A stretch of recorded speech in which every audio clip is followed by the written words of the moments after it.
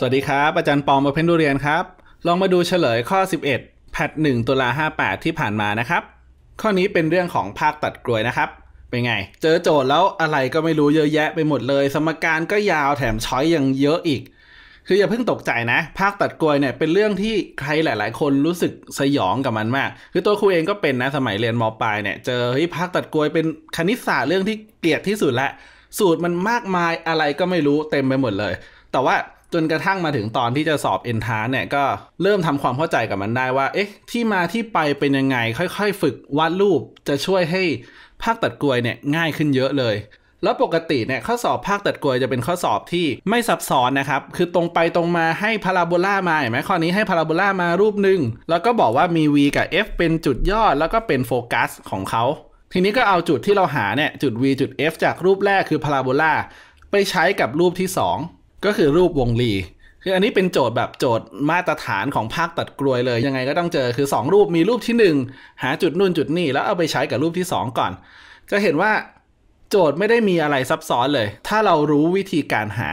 เห็นไหมเริ่มแรกนี่ไม่ต้องคิดอะไรมาก เจอสมการพาราโบลาทำอะไร จัดรูปก่อนเลย จาก y กำลังสองลบ 4y บวก 40x ลบ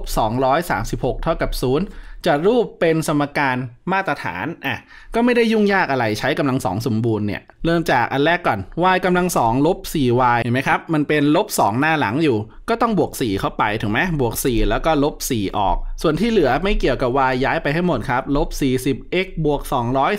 236อะตัวนี้ก็รวบได้แล้วกลายเป็น y ลบ 2 ทั้งหมดยกกำลังสอง คือภาคตัดกลวยถ้าเกิดเราไม่แม่นกำลังสองสมบูรณ์ไม่แม่นเรื่องการจัดรูปแก้สมการเนี่ยยังไงก็ตายลูกเดียวเห็นไหมอะลบ4ที่โผล่ออกมาไม่เกี่ยวก็เอามาไว้อีกข้างหนึ่งนะครับ กลายเป็นลบ 40x บวกด้วย 240 สุดท้ายได้แล้วฝั่งซ้ายจบแล้ว y ลบ2กำลัง 2 ฝั่งขวาดึงตัวร่วมครับ ดึงลบ 40 เลย แล้วก็ข้างในเป็น x ลบ6 โอเคไหมสมการของพาราโบลามันก็จะอยู่ในรูปแบบนี้ครับ y กำลัง2เท่ากับ 4cx ถูกไหมจะมี 2 แบบ แล้วก็อีกแบบคือ x กำลัง2เท่ากับ 4cy อย่างข้อนี้เนี่ยเป็นแบบล่างถูกไหมแล้วค่า c ของเราก็เท่ากับลบ10นะครับ ทีนี้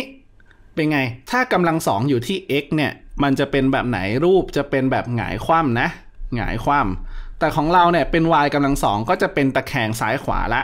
อันนี้ตะแคงซ้ายหรือขวาดูยังไง ดูค่า c ครับ c เป็นบวกก็คือตะแคงด้านขวาคือเปิดขวา อันนี้ c ติดลบเปิดด้านซ้ายตะแคงด้านซ้ายลองวาดรูปดูนะครับ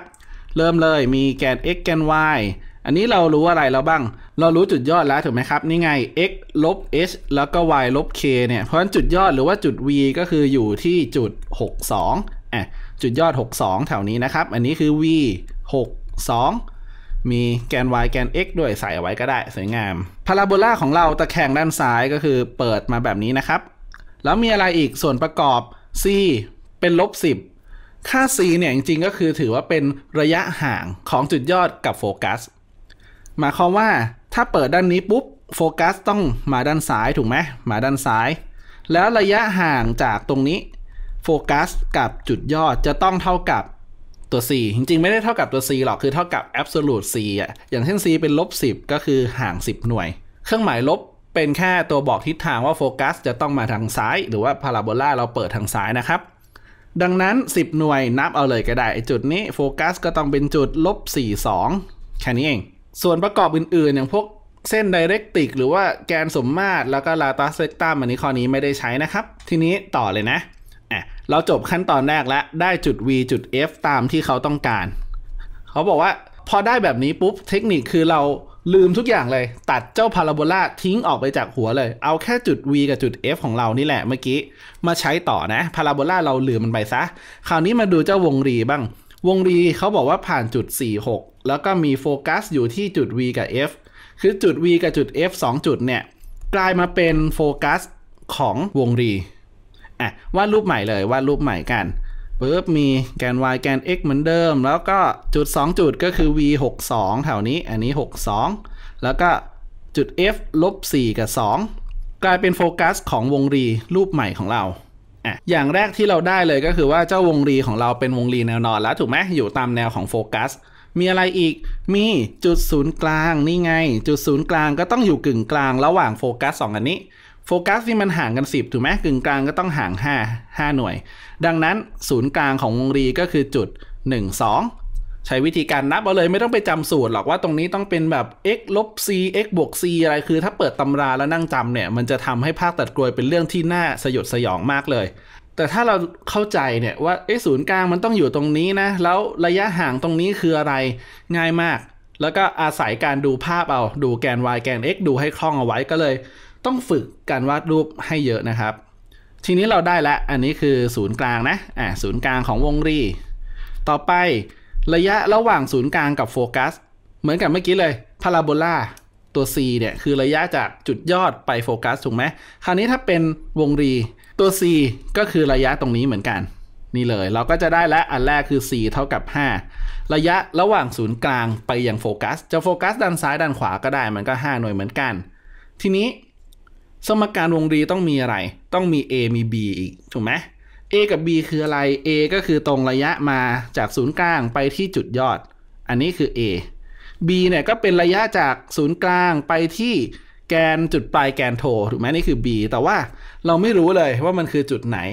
ข้อมูลสุดท้ายที่เรารู้จากข้อนี้ก็คือว่าวงรีมันผ่านจุดนี้ครับ จุด 46ทำอะไรได้ล่ะ ลองไปดูซิ46 น่าจะอยู่แถวๆนี้นะ สมมุติถ้าเราวาดรูปจริงๆ ก็ไม่ต้องวาดให้เป๊ะมากก็ได้46เวลาที่เราเจอจุดที่อยู่บนกราฟเนี่ย ส่วนใหญ่เรามักจะนึกถึงการเอาไปแทนค่าในสมการถูกไหม แต่ข้อนี้ปัญหาเกิดละ สมการของวงรีเนี่ยมันจะเป็นแบบนี้ครับ x ลบ h ก็คือ x ลบ1กำลัง2ส่วนด้วย a กำลัง2นะ วงรีแนวนอน a อยู่กับตัว x บวกกับ y ลบ k ก็ y ลบ2กำลัง2ส่วน b กำลัง2เท่ากับ 1 ถ้าเป็นไฮเปอร์โบลาเครื่องหมายตรงกลางจะติดลบจำได้ไหมแล้วก็ตัว a อยู่หน้าเสมอตัว b อยู่หลังแค่สลับที่ x y กัน อันนั้นก็ลองไปทวนดูนะ ทีนี้เรามีแค่ตัว c ตัวเดียว จะหา a หา b ก็ไม่ได้ด้วย ต่อให้เราเอาจุด 46 ที่มีเนี่ยแทนเข้าไปใน x ใน y เป็นไง หา a หา b ได้ไหม ก็ไม่ได้ เพราะมีสมการเดียวแต่ว่ามีตั้ง 2 ตัวแปร บางคนบอกอาจจะมีอีกสมการหนึ่งด้วย เช่นอะไร เช่นเราตั้งสูตรนี้ครับ ความสัมพันธ์ก็คือ a กำลังสองเท่ากับ b กำลังสองบวก c กำลังสองถูกไหม ตัวนี้ก็มีจริงอยู่เราสามารถทำเป็น 2 สมการได้ แต่ว่ามันจะวุ่นวายมาก มันต้องไปจัดรูปเยอะแยะเลย ซึ่งมันจะทำให้การแก้ระบบสมการเนี่ยยากไม่เอาไม่เอา ทีนี้เปลี่ยนวิธีใหม่ เอาอีกวิธีหนึ่ง อย่าลืมนะครับ นึกถึงนิยามของเจ้าวงรีเนี่ยนิยามของวงรีเป็นไงครับ จุดตรงนี้ สมมุติอันนี้รูปเริ่มมั่วแล้วนะ เดี๋ยว อันนี้คุณแยกออกมาตรงนี้ครับ 4 6 ตรงนี้นะ อันนี้เป็นจุดที่อยู่บนวงรีแล้วก็มีโฟกัส2อันจำได้ไหมครับ นิยามของวงรีบอกว่า ไม่ว่าจุดใด ๆ ก็ตามที่อยู่บนเส้นวงรีเนี่ยอยู่บนเส้นกราฟของวงรีนะ ถ้าเราหาระยะตรงนี้ครับ มาอย่างโฟกัสเนี่ยสองอันจากโฟกัสมาที่จุดไหนก็ได้บนวงรีทั้ง 2 จุดเลยนะโฟกัสแล้วเอาระยะ 2 อันนี้มาบวกกัน สมมุติตรงนี้โฟกัส f1 ตรงนี้โฟกัส f2 แล้วก็อันนี้เป็นจุด p คือหาระยะของ p กับ f1 ระยะห่าง กับระยะของ p กับ f2 แล้วเอามาบวกกันเนี่ย ค่าเนี้ยมันจะคงที่เสมอเลย คงที่แล้วเราเรียกมันว่าผลบวกคงที่จำได้ไหม แล้วมันเท่ากับ 2a ด้วย คล้ายๆกันกับในไฮเปอร์ ถ้าเป็นไฮเปอร์ก็จะเป็นผลต่างคงที่นะ เป็นเอามาลบกัน ที่ในวงรีเนี่ยเรามีผลบวกคงที่อยู่ เราทำไงล่ะ เราก็หาเลยสิ แบบนี้น่าจะหาง่ายกว่าถูกไหมสมมุติจุด p ของเราก็คือจุด 46 ตรงนี้ แล้ว f1 คือลบ42 f2 คือ 62 เราหาระยะห่างเลย หาระยะระหว่างจุดธรรมดานี่แหละ pf1 ก็เป็นไง x 2 ลบ x 1 ก็เป็น 4 บวก 4กำลัง 2 บวกด้วย y 2 ลบ y 1 กำลัง 2 ถอดรูทอะกลายเป็น 8 8 64 บวกกับ 4 46 ก็จะเป็นอันนี้คือรูท80รูท80ถอดออกมา ก็จะได้เป็น4รูท5ใช่ไหมอีกอันหนึงก็คือ p f 2อะ f 2เป็นไง f 2ก็คือจุด62ของเรา x 2ลบ x 1ก็4ลบ6ถูกไหมครับ กลายเป็น4ลบ6กำลังสองบวกด้วยอันหลัง6ลบ2กำลังสองเหมือนกัน ใช้สูตร หาระยะระหว่างจุดธรรมดานี่เองเท่ากับอะไร 2 2 4 บวกด้วย 4 4 16 ก็เป็นรูท20รูท20ถอดออกมาก็คือ2รูท5 ได้ละ จากสูตรเลยเราบอกว่าไง บอกว่า 2 ค่าเนี้ยบวกกัน pf 1บวก pf 2มันคือผลบวกคงที่และมีค่าเท่ากับ 2a ก็คือ6รูท5เท่ากับ 2a เราก็จะได้พระเอกของเรามาแล้ว คือ a เท่ากับ3รูท5นี่คือสิ่งที่เราอยากได้มากมายเลย ได้ a มาแล้วขาดอีกตัวหนึ่งคือ b ทำไง เรามี a มี c ครบคราวเนี้ยอยากใช้สูตรนี้ ก็ใช้ได้เลย แทนค่าเข้ามานะครับ จาก a กำลัง2เท่ากับ b กำลัง2บวก c กำลัง2 a กำลัง2ก็คือ3รูท5กำลัง2เป็น 45 ถูกไหม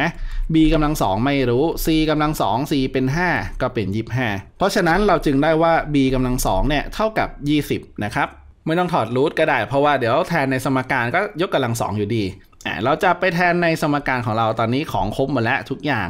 ก็จะกลายเป็นอะไรครับ กลายเป็น x ลบ1กำลัง2ส่วนด้วย a กำลัง2คือ 45 บวกกับ y ลบ2ทั้งหมดกำลัง2ส่วนด้วย b กำลัง2คือ 20 เท่ากับ 1 นี่คือสมการมาตรฐานของวงรีเรา แต่ว่าเป็นไง โจทย์ก็ทำให้เราเสียเวลาอีกต้องไปจัดรูปเป็นรูปทั่วไปนั่นเอง เห็นไหมในช้อยเนี่ยมันไม่มีรูปที่เราต้องการนะ ต้องไปจัดรูปจัดรูปไม่ยากครับ กระจายไปเรื่อย ๆ เลยอะทีละอันนะ 45 กับ 20คอนอคือ 180ถูกไหมเราเอา 180 คูณตลอดไปเลย คูณปุ๊บกลายเป็นอะไรอะ180 คูณเข้ามาก็เป็น 180 ส่วน 45 อันนี้ x ลบ 1 กระจายเลย หน้ากำลัง 2 ลบ 2 หน้าหลัง บวกหลังกำลัง 2บวกด้วยตัวถัดไปก็ 180 แล้วก็มีส่วน 20 กระจายเหมือนกันครับ หน้ากำลัง 2 ลบ 2 หน้าหลัง บวกหลังกำลัง 2 เท่ากับ 1 ฝั่งนี้ก็ต้องคูณด้วย 180 ด้วย โอเคไหม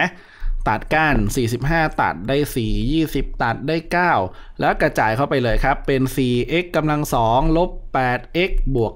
4 บวกด้วย 9y กำลัง 2 ลบ 36y บวก 36 เท่ากับ 180อะเรียงใหม่ 4x กำลัง 2 บวก 9y กำลัง 2 ลบ 8x ลบ 36y แล้วก็ c กับ 36 เป็น 40 เอา 180 ย้ายมานะ กลายเป็นลบ 140 เท่ากับ 0 อันนี้ก็คือสมการทั่วไปของวงรีที่เราต้องการ ไปดูซิตรงข้อไหนกัน อันนี้เลยข้อที่ 3 เสร็จแล้วครับ ค่อนข้างจะวุ่นวายถูกไหมต้องหาอะไรเยอะแยะเลย เพียงแค่ว่ามันจะคล้ายๆกับเรื่องเมทิกก็คือ อาจจะมีอะไรเยอะแยะแบบโผล่มาเต็มไปหมดเลย แต่ถ้าเรารู้ขั้นตอนว่า เอ้ยมันมาจากตรงนี้ตรงนี้นะ แล้วที่สำคัญว่ารูปเป็นจะช่วยให้เราทำภาพตัดกลวยได้ง่ายทีเดียวสำหรับข้อนี้สวัสดีครับ